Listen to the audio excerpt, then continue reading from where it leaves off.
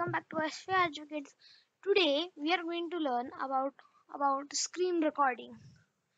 Uh, one guy asked me, his channel's name was Goodlocks, that he needed it for his gaming channel, video for. So I am making it now. So my name is Soham, and uh, please, uh, please, please like, share, and subscribe to SVRJ Kids. This video you can find it in Soham's Technical Corner and SVRJ Kids Education too. So let's start. First of all, first of all, uh, first of all, uh, search. I will recommend you a good software for screen recording. FreeCam8. Search FreeCam latest version. So this is FreeCam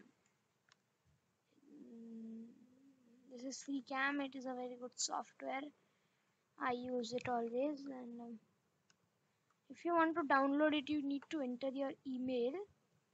You, you need to enter your email.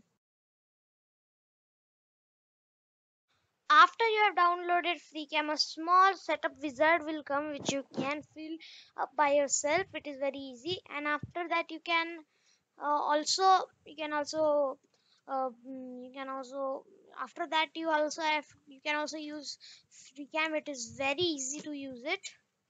So I guess this will be it for today. So thank you guys. I hope you enjoyed today's session. And uh, so you can do please don't forget to like share and subscribe to SV Kids. Bye bye